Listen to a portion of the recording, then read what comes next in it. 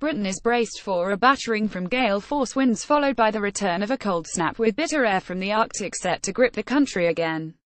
The double whammy will take place next week following recent uncertainty over forecasts for the UK with less cold air and a polar blast battling for supremacy.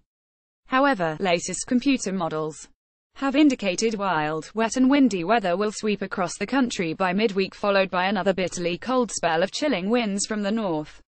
There will be a docile start to the week with mild air taking charge with a risk of some stubborn fog across the south.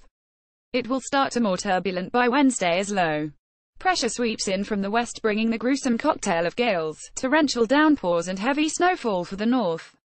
Forecaster Katie Greening, of the Weather Channel, said high pressure was building over the Arctic which was encouraging the colder outbreaks for Europe with a volatile week on the cards for the UK. She said computer models indicate mild, wet, and windier with the passage of an Atlantic low, followed by another cold plunge of Arctic air over northwest Europe on Thursday over northwest Europe on Thursday.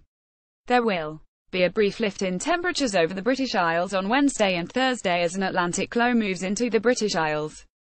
The forecaster added that the majority of the rain would fall over the north and west of the UK. Bikes buried beneath snow in Scarborough on Thursday as the cold snap took hold image PA she said.